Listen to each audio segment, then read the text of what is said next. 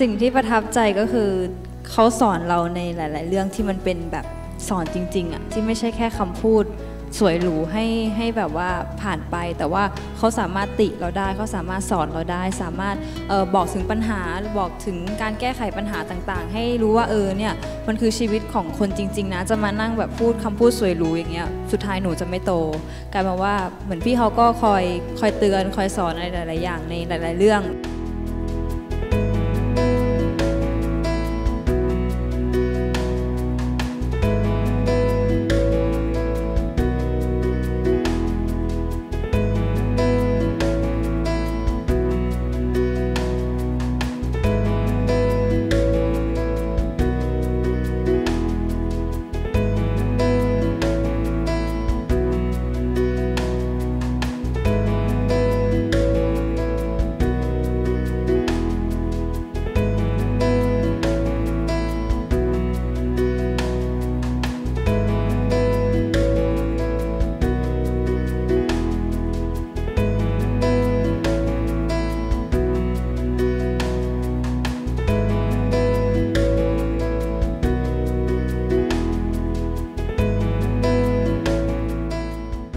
ที่น้องพูดไปจริง ๆ ก็คือบางอย่างก็ต้อง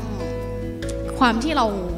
อายุห่างกันประสบการณ์ในการใช้ชีวิตของเราอย่างเงี้ยคือเราอาจจะไม่ได้ใช้ชีวิตได้ดีกว่าเขาหรอกแต่ว่าเรารู้ว่าสิ่งไหนมันจะเกิดขึ้นแล้วมันจะตามมา เพราะฉะนั้นก็คือพอสิ่งที่มันเกิดขึ้นบางทีหนูก็ดูอยู่ห่างๆบ้าง ดูอยู่ใกล้ๆบ้าง เราแต่แบบบางโมเมนต์ที่เราที่เราทำได้ เพราะว่าบางทีอย่างที่บอกว่า โมเมนต์ของของอิงลอดมันเกิดขึ้นแบบคาดเดาไม่ได้